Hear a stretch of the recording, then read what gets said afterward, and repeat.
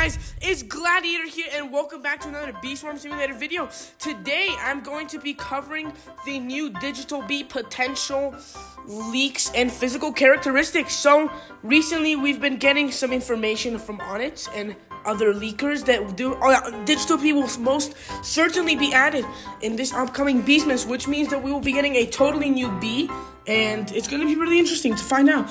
So, this is a speculation now that I've received from my good friend Squiggle once again. I'll link his, his socials in the description of the video.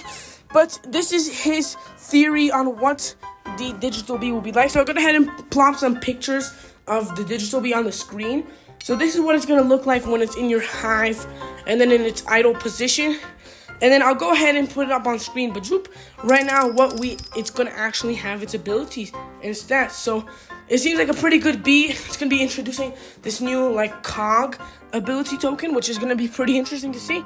So hopefully we do get digital bee. Keep in mind this is all a speculation and a conspiracy. None of this information is in the test realm nor actually confirmed, but it does seem like a pretty realistic potential update. So let me know your future thoughts on Digital bee, and I would be really excited to see this. It looks really cool. But for now, that's all I have for this video, and we'll see you all in the next video. Peace!